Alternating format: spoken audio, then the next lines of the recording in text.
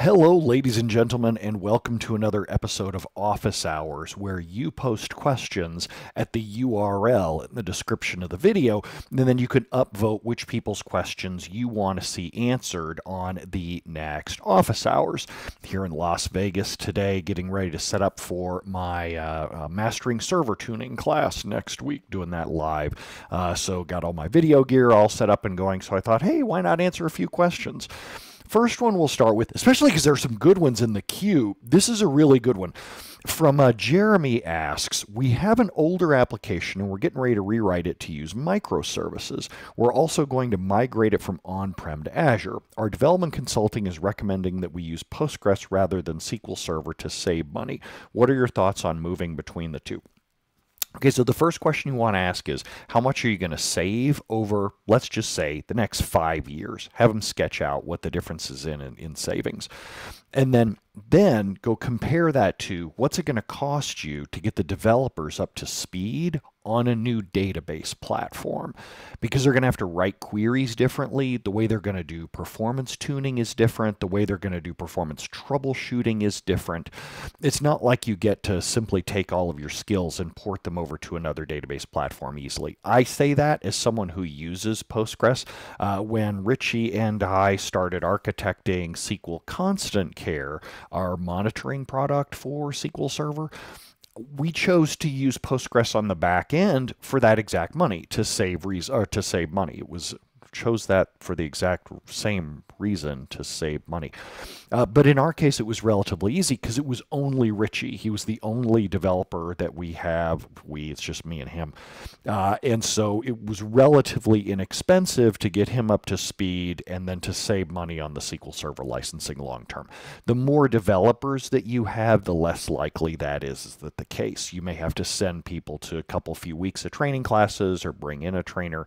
And I'm not saying that as a sales pitch for me because I don't do that work. Uh, next up, uh, Peter asks Have you ever deleted unused statistics, or do you think it might be worth doing? My pain is an, un, an exceptionally long running stat or stats update. I really I love how you put what your pain is because so often I have to ask people why are you doing that? What's the pain that you're trying to solve?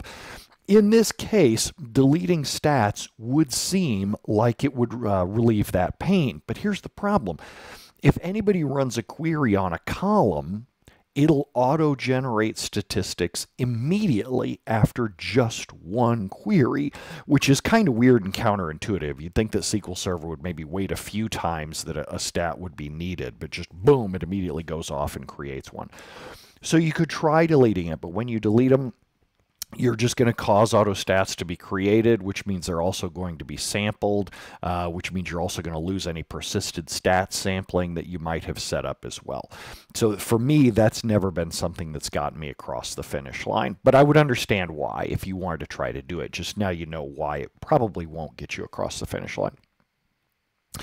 Jacob asks, how do you approach tuning a query when you can't run it in production? Well, I run it in development. Well, if you can't run it in development, why don't we have a development server? That would trigger me start asking that uh, asking that question. But the other thing that I would say is because I'm old, I, look, I'm pushing 50. I've been working with SQL Server for a couple of decades. Usually I can look at a query and go, that won't work, that won't work, that won't work. So my answer, of course, is going to be I'm just going to look at the query and I can kind of guess what kind of execution plan we're going to end up with. Worst case scenario, I could display the estimated execution plan. I go, oh, I bet that's wrong. I bet that's wrong. I bet that's wrong. But the other thing, uh, that's just because I've been doing this for like 20 years. The other thing I should point out is you should have a monitoring tool. You should have a monitoring tool that gathers execution plans in production, and you should be able to go look at those. So there's a few answers for you there. Next up, Kimberly asks, I'm battling sysadmins in my org. They want Veeam backups for all my SQL servers and not SQL backups. I understand why they want them. It's easier to use one single tool to back up everything. Says they claim point-in-time recovery with Veeam. I say my logs are getting not getting truncated, so Veeam is not talking to SQL. Can you point me to a doc that will support this? Okay, first off, read the Veeam manuals. They're available online on the web. You don't have to buy Veeam. You could just go Google for the document, the version that you have, and the manual. You can read the manuals and see how it works. The other thing is, ask your sysadmins for a point-in-time recovery, except you give the time. You say, hey, from production, I want to take the backup from yesterday at 3:15 p.m. Get me the backup from production yesterday at 3:15 p.m. Restore that over in a development environment. Then you go look at your fastest changing table. You probably have something like sales line items. Go to the most recent sales line items in the restore table. That'll help you figure out what exact point in time the database was restored at. If you ask for, say, 3:17 p.m., and they give you 3 p.m., well, that tells you that you don't really have point in time recovery. What they're claiming, probably. Now, and Veeam can do a point in time recovery with the transaction log too, as well. Just all depends on how you configure it. Just like SQL Server. If you configure backups poorly, you don't get point in time recovery. Or often when I, I work with sysadmins who haven't configured these backup tools correctly, they say we have point in time recovery, but then when I ask for a specific point, we don't actually have that. We just have a couple of points in time. Uh, next up, Cats Everywhere says, Hey Brent, I'm planning a new SQL Server build. I expect that the business people will want this server to exist for 8 to 10 years. That's fair. Um, are there any good arguments business people would love to persuade them to stick to a five year max? I picked five years due to patching support for Microsoft. No, I mean, so today we're in 2022. 2022 is just about over, but SQL Server 2012, I still see all the time out in production. I understand why people do it. If you were going to do a brand new SQL Server build today, and let's just say that you chose SQL Server 2019, it's a pretty doggone good version. There's a lot of good stuff inside there. I can see how it would have legs for 8 to 10 years. Plus, a lot of applications don't need SQL Server's recent features, don't need a lot of the recent fancy pants features.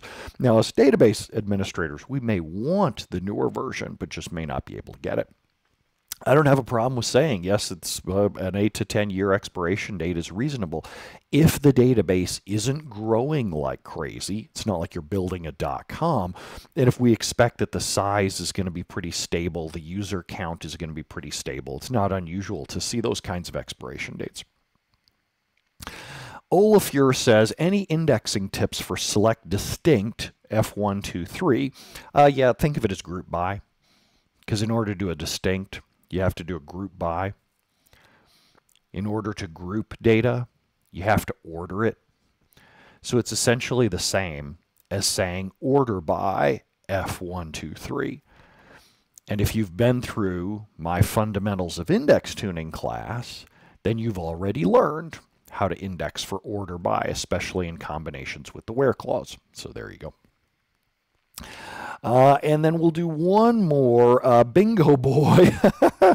Bingo Boy says, What are the pros and cons of setting up a SQL Server learning environment using uh, containers instead of uh, virtual machines? When you're learning, because you said that you want to do it for learning, you want to learn the thing that you're going to use in production. If you learn something else, you're wasting your time. I'm going to Spain next month. I'm not, but let's just say I'm going to Spain next month. I think I should learn France, French. French is right next to Spain. It's really similar, right? I bet that if I spend time learning French, I'll have an easy time over in Spain. Nah, not really. You might find some people who know French, but you might as well learn the language of whatever it is that you're actually going to be using. So focus on that. All right, well, there's a handful of quick answers. Oh, we got it in less than 10 minutes. So there's a handful of quick answers. Hopefully, y'all learned something, and I will see y'all on the next office hours. Time for me to go out and get some morning coffee. It's about 6:30 a.m. I think my local coffee shop has their pastries up and running by now, so I'm out of here. Adios.